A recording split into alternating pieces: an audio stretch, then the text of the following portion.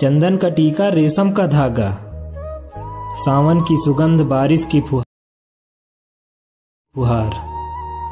भाई की उम्मीद बहन का प्यार। मुबारक मुबारक हो आपको रक्षाबंधन का त्योहार।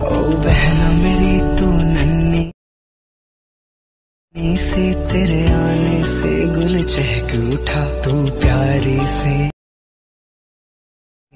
गुड़िया है फूलों की महक खुशबू की तरह।